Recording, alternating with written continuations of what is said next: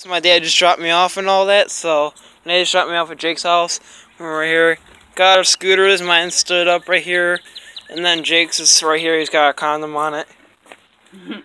No. Yeah. Here's mine.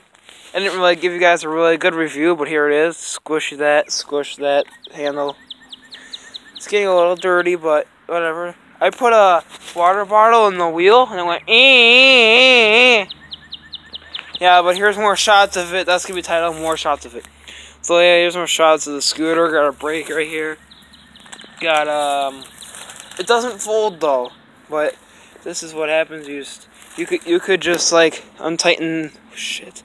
You could just untighten this if I can get it. Can you always scooter when I untighten this or no? Here, this is how you untighten it. You just go like that, and you unloosen it. I had to hold it like this, but just go like that, and then you just flick it open, and then you can just, then you can just move this right here, and then uh, kick that kickstand. There's a kickstand right there, you guys. Okay.